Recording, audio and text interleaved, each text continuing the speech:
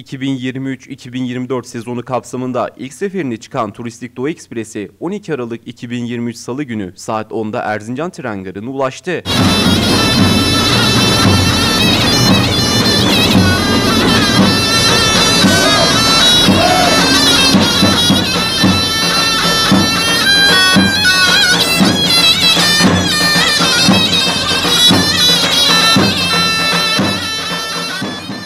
Ankara, Erzincan, Erzurum istikametinden Kars'a gidecek olan tren Erzincan Tren Garı'nda Erzincan Valiliği tarafından düzenlenen organizasyonla Erzincan Valisi Doçent Doktor Hamza Aydoğdu ve il protokolü tarafından güllerle karşılandı. Evet. İniyor mu buradan? İnen var mı buradan? Evet.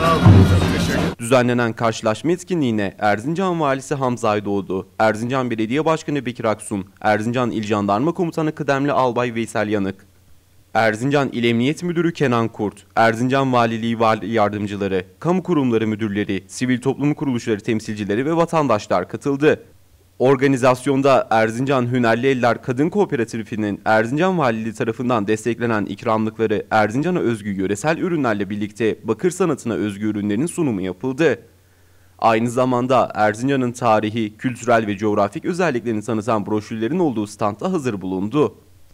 Turistik Doğu Ekspresi Erzincan Tren Garı'na giriş esnasında Erzincan İl Kültür ve Turizm Müdürlüğü Halk Oyunları ekibi tarafından davul ve zurna ile karşılama gerçekleşti. Yolculuk yapan vatandaşların çekilen halayların coşkusuna eşlik ederek trenden inmesiyle karşılama töreninde özel ve ayrı fotoğraflık kareler oluşturuldu.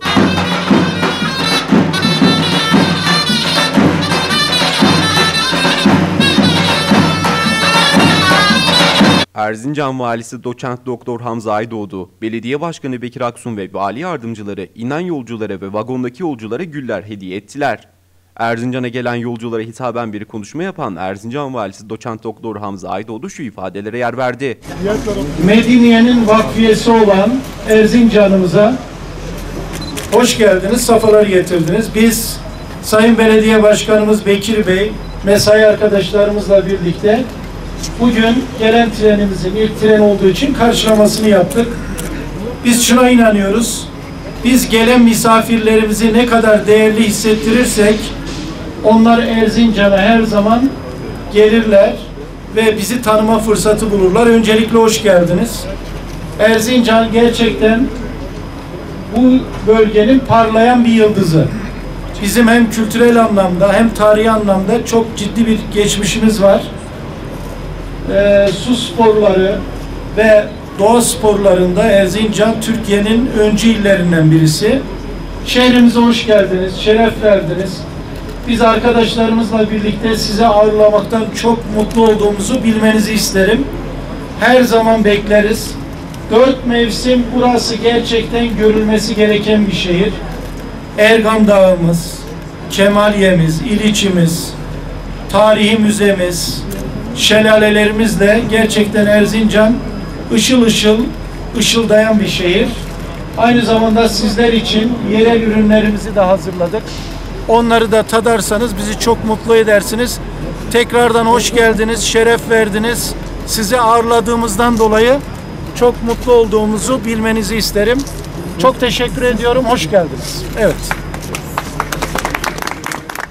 Karşılama etkinliğinde Turistik Doğu Ekspresi'nden inen yolculara Erzincan'a özgü Erzincan tulum peyniri, Erzincan gözlemesi, Erzincan ketesi, Erzincan kesme kadayıfı ve benzeri yöresel ürünlerinin sunumu yapıldı. Yolcular verilen ikramlıklardan dolayı memnuniyetlerini ifade etti. ERT Şah Medya kameralarımızda konuşan yolculardan Erzincan'a ilişkin duygu ve düşüncelerini aldık. Aralarında yabancı ülkelerden de gelen yolcuların olduğu vatandaşlar şu ifadelere yer verdi.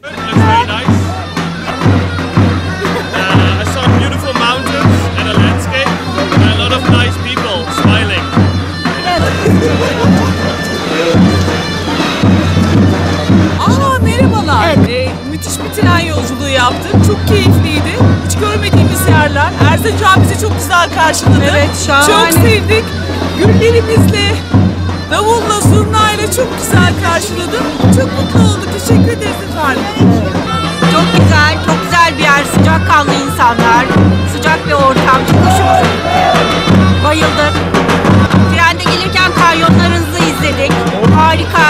Doğa Doğa, doğası muhteşem, havası muhteşem, oksijen süper,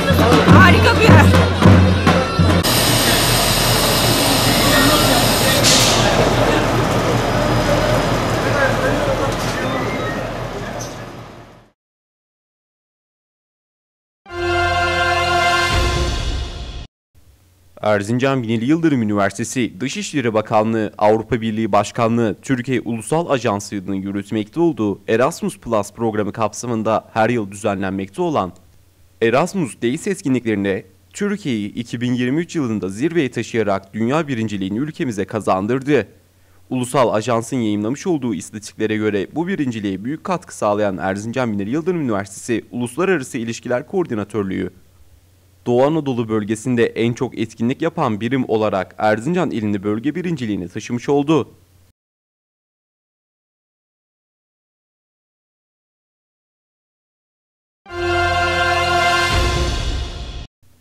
Dünya İnsan Hakları ve Demokrasi Haftası münasebetiyle Erzincan Müftülük Konferans Salonu'nda kutlama programı düzenlendi. Dünya İnsan Hakları ve Demokrasi Haftası münasebetiyle Erzincan İl Milli Eğitim Müdürlüğü koordinesinde kutlama programı düzenlendi. Müftülük Konferans Salonu'nda düzenlenen programa Erzincan İl Milli Eğitim Müdürü Hacı Ömer Kartal, Milli Eğitim Şube Müdürleri, Kamu Kurum Müdürleri, davetliler, öğretmenler ve öğrenciler katıldı. Program saygı duruşu ve istiklal marşı ile başladı. Günün anlam ve önemini belirtildiği konuşmaların ardından program İnsan Hakları Evrensel Beyannamesi ile ilgili video gösterisiyle devam etti.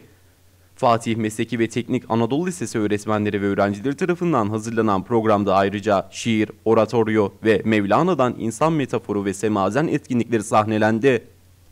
Program İnsan Hakları Günü konulu resim, şiir ve kompozisyon dalında dereceye giren öğrencilere hediyelerinin verilmesiyle son buldu.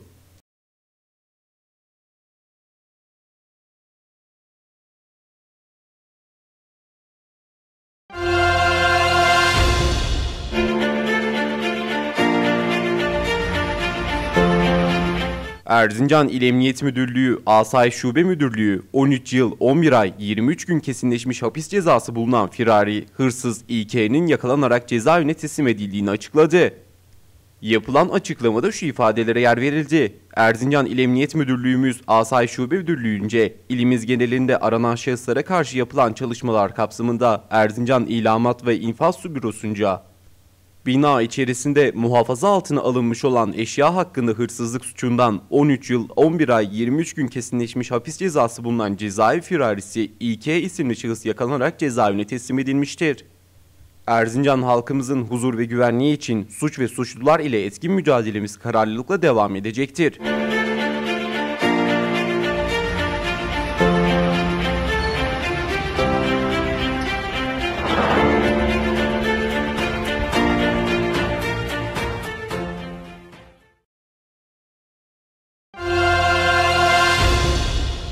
AK Parti Erzincan Milletvekili Süleyman Karaman, Ulaştırma Bakanlığı Plan Bütçe Komisyonu'na soru önergesi vererek Sivas-Erzincan hızlı tren hattı son durumu hakkında bilgi aldı. Erzincan Milletvekili Süleyman Karaman verdiği soru önergesinde Erzincanlı hemşerilerimin en büyük hayali olan Ankara, Sivas, Erzincan, Erzurum, Kars hızlı tren hattının ihalesi yapılan Sivas-İmranlı arasının acilen bitirilmesini, İmranlı-Erzincan ihalesinin acilen yapılmasını istiyoruz. Ayrıca Erzincan, Trabzon, Erzurum, Kars hızlı tren hattının çalışmalarının başlamasını istiyoruz ifadelerini kullandı. Ulaştırma Bakanlığı Plan Bütçe Komisyonu'nca soru önergesiyle verilen cevapta ise İpek Demiryolu koridoru üzerinde bulunan Sivas, Erzincan, Erzurum, Kars arasında hızlı tren hattı yapılması planlanmış olup Sivas Zara kesiminde altyapı çalışmalarının devam etmektedir. Zara, İmranlı, Kema, Erzincan kesiminde revize proje çalışmaları planlanmıştır. Erzincan, Erzurum, Kars hızlı tren hattı iki kesim halinde projelendirilmiş olup proje çalışmaları devam etmektedir. Proje çalışmalarının 2024 yılına tamamlanması planlanmıştır ifadeleri yer aldı. Karaman ayrıca komisyondaki açıklamasında seçim bölgen Erzincan'ımızda bugüne kadar büyük hizmetler yapan Ulaştırma ve Altyapı Bakanlığı'na Erzincanlı hemşerilerim adına teşekkür ederim. Ülkemizin kuzeyini güneyine bağlayan Trabzon, Erzincan, Refahiye, İliç, Kemaliye'den Malatya'ya ve güneye uzanan duble yolun bir an önce bitirilmesini, yatırım programlarında yer alan D100 karayolunun iyileştirilmesi kapsamında Erzincan il sınırlarında yer alan Kızıldağ, Sakaltutan ve Ahmediye tünellerinin Kış aylarında yol kapanmalarına son verilmesi için bir an önce yapılmasını istiyoruz. Ayrıca yine yatırım programında yer alan Erzincan Kemah İliç yolunu bir an önce yapılmasını, bununla birlikte yapımı devam eden Erzincan Başköy Çayırlı yolunun bir an önce bitirilmesi konusunda desteğinizi bekliyoruz, dedi.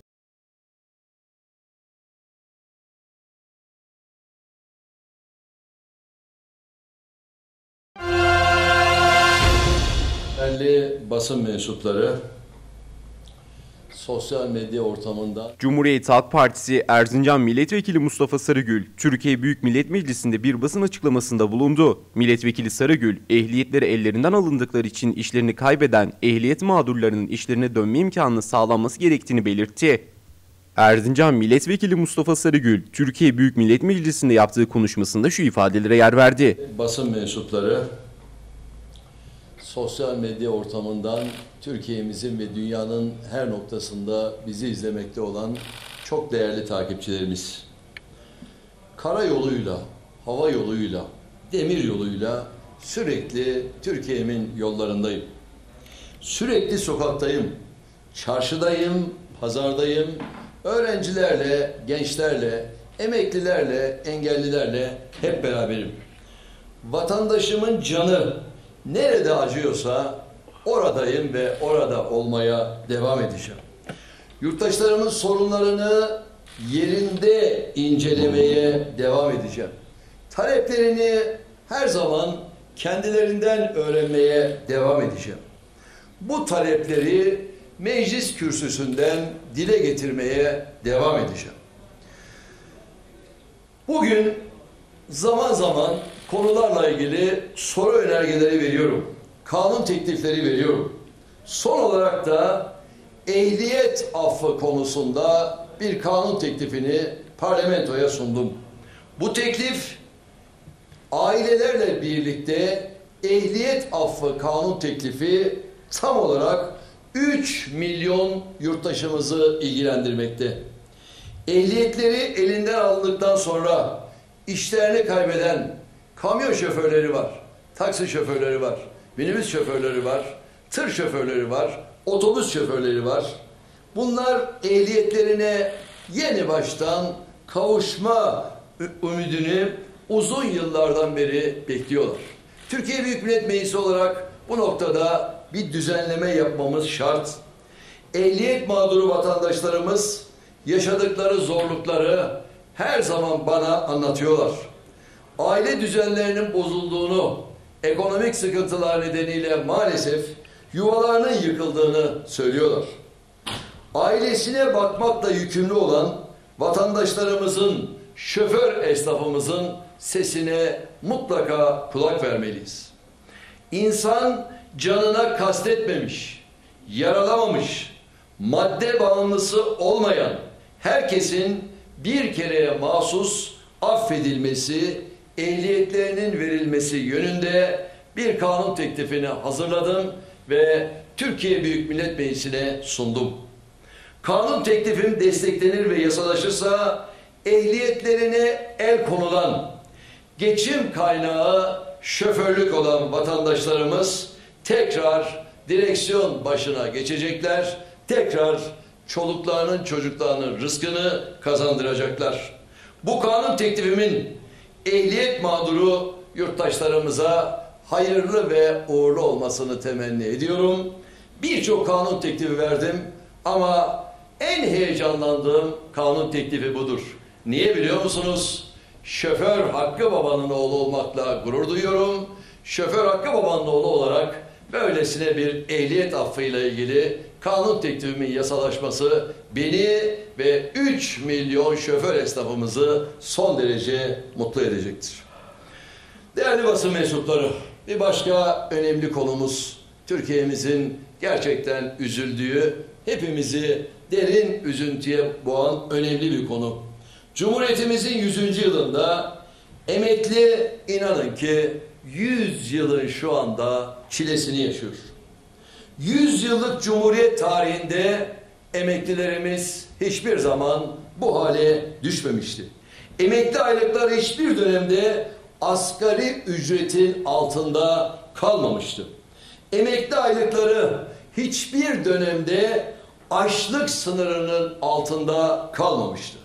Emekli maaşları bırakın insanca yaşamayı, hayatta kalmaya bile yetecek düzeyde inanın ki değil. En düşük emekli maaşının mutlaka asgari ücret düzeyinde olması şart. Emekli aylıklarının prim günü esas alınarak ve intibak yasası çıkarılarak yeni baştan düzenlenmesini milyonlarca emekli yurttaşımız beklemektedir. Aylık bağlama oranları dul ve yetimleri de kapsayacak şekilde milli gelir artışı dikkate alınarak yükseltilmesi lazım. Memurlara verilen 8077 liranın bütün emekli aylıklarına yansıtılmasını bekliyorum. Bayramda verilen emekli ikramiyelerin en az asgari ücret düzeyinde olmasını şart olarak görüyorum. Buradan iktidara sesleniyorum. Emeklinin ahını almayın. Ah alan iflah olmaz. Emeklinin ahı inanın ki düşürür iktidarı. Değerli yurttaşlarım, bir önemli konumuz da Cumhuriyetimizin 100. yılında birliğimizi, beraberliğimizi güçlendirmek istiyorsak bozulan kardeşlik hislerini gelin hep birlikte onaralım. Birbirimize daha sıkı sıkıya sarılalım. Temiz bir sayfa açalım istiyorum. Bu amaçla bir kez daha tüm siyasi partilere sesleniyorum. Tıpkı 10. yılda, tıpkı 50. yılda olduğu gibi Cumhuriyetimizin 100. yılında bir af çıkaralım. Devletimizin güçlü ve adil olduğunu, devletimizin vicdanlı ve şefkatli olduğunu, merhametli olduğunu bütün dünyaya bir kez daha gösterelim. Cumhuriyetimizin 100. yılını toplumsal barışa, kardeşlik hukukuna vesile kılalım. Cezaevlerinde ayrı bir dram, inanın ki evlerde ayrı bir dram yaşanıyor. Cezaevleri kapasitesinin son derece üzerinde mahkumlarla karşı karşıya. O nedenle gelin Cumhuriyet'in 100. yılında çocuklar için affet Türkiye'm, anneler için affet Türkiye'm, babalar için affet Türkiye'm diyelim. Cumhuriyetimizin 100. yılında bütün siyasi partiler gelin devletimizin vicdanlı olduğunu, gelin devletimizin şefkatli olduğunu bir kez daha gösterelim. Hep birlikte kardeşlik hukuku ve toplumsal barışa inşallah imza atalım ve hep beraber çocuklar için, anneler için, babalar için affet Türkiye'm, affet Türkiye'm, affet Türkiye'm.